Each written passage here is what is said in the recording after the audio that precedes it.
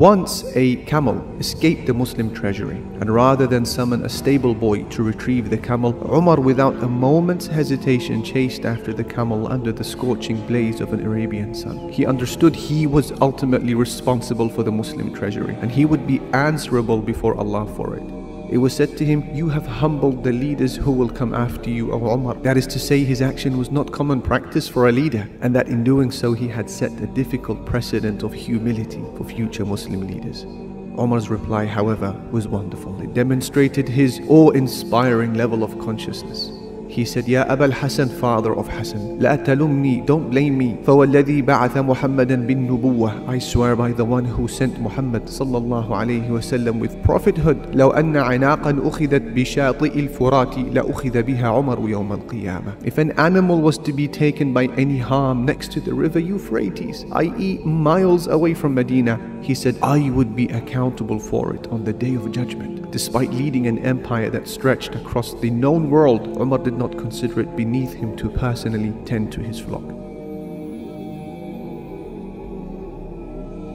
He was once seen with his head close to the ground, kindling a fire for a hungry family in the middle of the night as its smoke passed through his beard. The head of state then fed the children with his own hands until they were satiated and they fell asleep. The children's mother looked with appreciation at this friendly stranger and she found no way to express her admiration other than by saying, Jazakallahu khayran, anta awla bihada al-amri min Umar. May Allah reward you with goodness. You are worthier of being the caliph than Umar, not knowing that her visitor that evening was in fact Umar, the Caliph himself.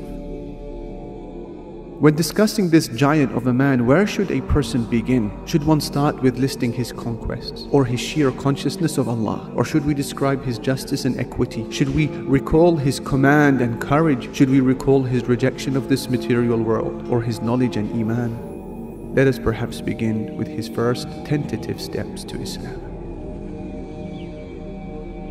It all began with dua. Prophet Muhammad sallallahu alaihi wasallam once called upon Allah saying, Allahumma a'izz al-Islam bi ahabbi hadayni rajulayni ilayk. O Allah, I ask you to bring honor and dignity to Islam by guiding one of the two men whom you love more, Umar ibn al-Khattab and Abu Jahl. Ibn Umar, who is the narrator of this narration, he said, the most beloved of these two men to Allah was Umar. Omar described his journey to Islam when he said, Before I became a Muslim, I was a man who loved wine. I would drink it regularly. There was a particular place in Mecca where the men of Quraysh would gather to drink together.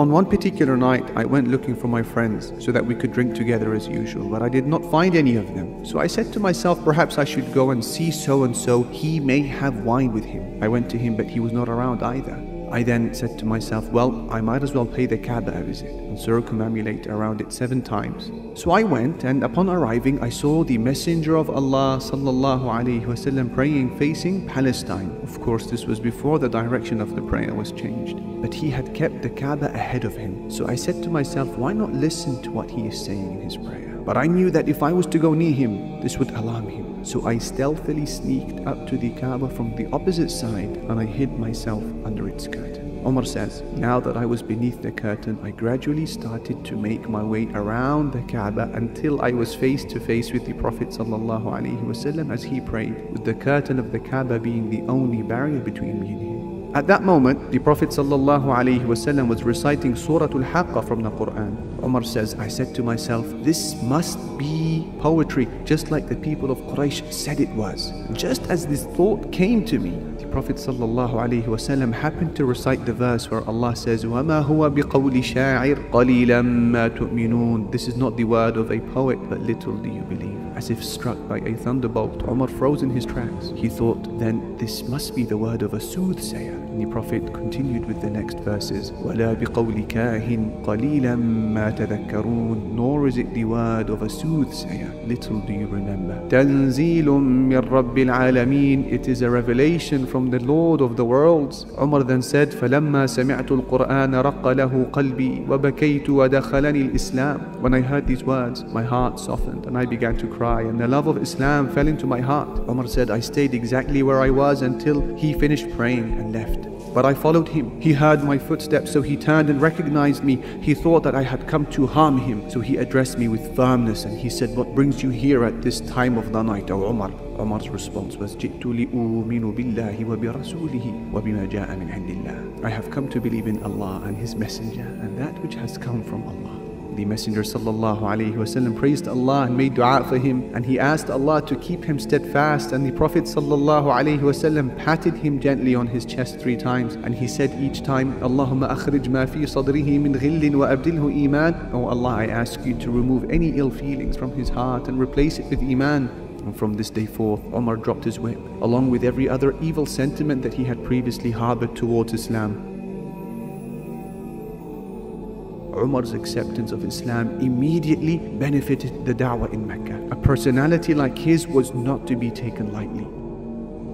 And this is why Suhaib al-Rumi, one of the earliest companions who embraced Islam, he said, لما أسلم عمر When Umar became a Muslim, ظهر الإسلام Islam increased in prevalence. ودعي إليه علانية And we would call towards it now publicly. وجلسنا حول البيت حلقا And we would sit in circles around the Kaaba. And we would circumambulate around it. And we would retaliate when spoken to nastily.